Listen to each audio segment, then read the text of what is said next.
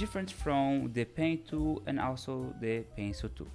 First, because the vector brush tool you can use a brush that it is available to you on the brush panel.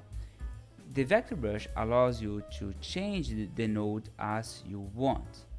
However, just to clarify that the vector brush here, it is not, uh, you know, this image here, as you can see, you cannot change these small images as a vector.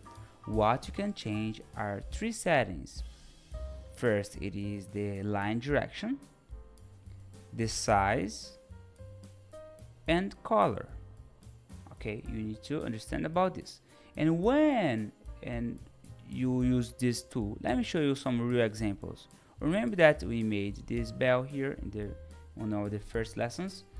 If I select this uh, pencil, uh, this line that I have, okay, I have here these three lines. What I can do it is this. I can go here in the brushes panel and I can select these brushes from here. And basically Affinity will add this as a, a kind of texture.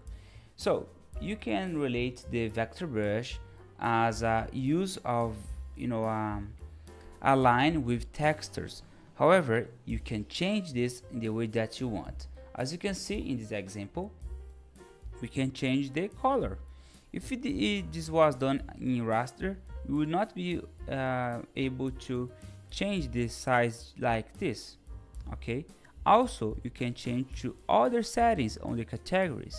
For example, if we go to uh, this option, engraving, you can change to something like this, or here, or here.